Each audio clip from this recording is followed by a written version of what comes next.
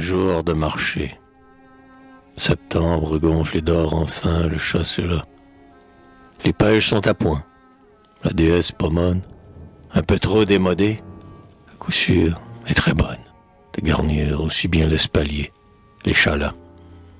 Chaque tente rustique abrite des amas, de beaux fruits parfumés que la foule environne. Regardant, tour à tour, les prunes de Damas et la figure entr'ouverte où l'abeille bourdonne. On marchande, on choisit, et bientôt le dessert, mis sur la nappe blanche et sous l'épais couvert d'un jardinet en fleurs, ignoré du profane. Séduira le gourmet, ami des petits plats, de vin frais, des cœurs chauds, des plaisirs délicats, et de l'esprit sans fiel qui, jamais, ne se fane.